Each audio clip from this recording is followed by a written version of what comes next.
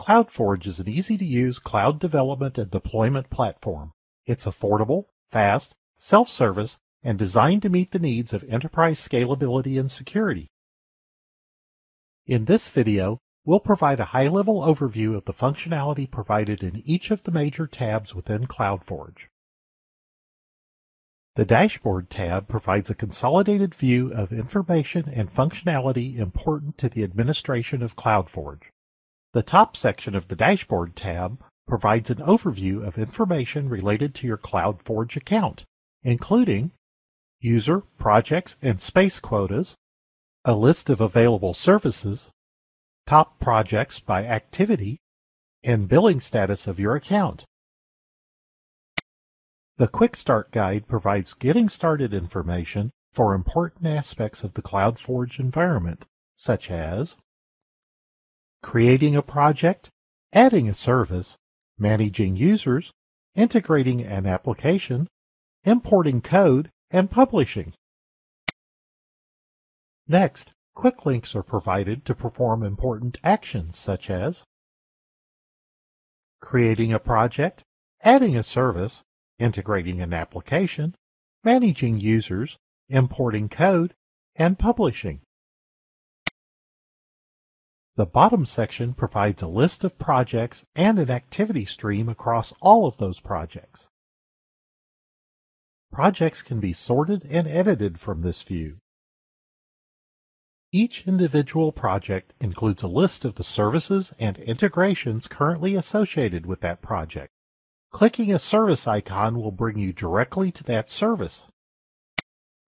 Clicking the arrow to the right of a project expands the list of services and provides quick publish functionality. Clicking the arrow next to a service will display actions that can be performed within that service. The activity stream displays recent subversion and Git activity.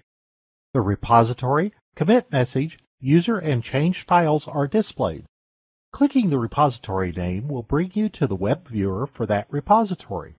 Clicking the arrow next to changed files will display a list of files that were changed during the commit. Clicking an individual file name will bring you to the web viewer for that file. Users and projects can be searched, and a product feedback can be submitted via the input box at the bottom of the page. From the Projects tab drop-down, you can link to most recently accessed projects, create a new project, or view all projects. When viewing all projects, roll-up information is displayed at the top of the page, including total commits, total users, and total groups.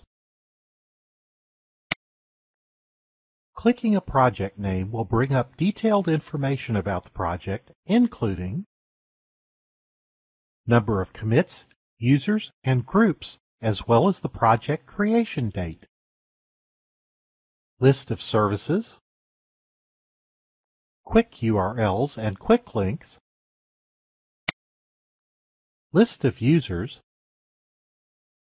project activity stream, weekly commits graph,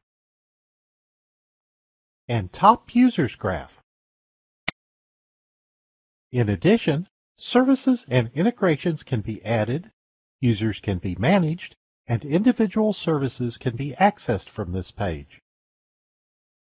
Note that the dark blue links represent services that are provisioned and ready to be used. Light blue links represent services that are available but not yet provisioned. Clicking the link will provision the service, while gray links represent services that are not available to the account.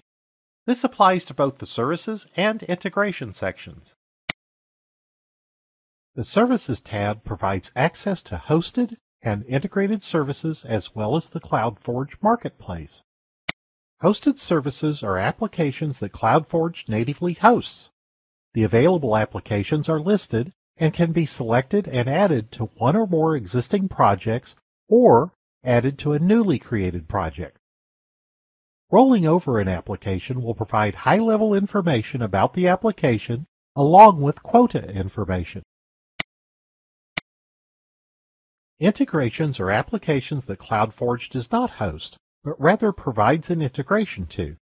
Like with hosted applications, one or more integrated applications can be selected and added to one or more existing projects or added to a newly created project. The Marketplace provides links to CloudForge partner applications. The Reports tab provides system-wide reports including top users, top projects, and total commits. System logs are also available from this tab. From the Admin tab, a CloudForge administrator can manage users, groups, roles, administrators, and permissions.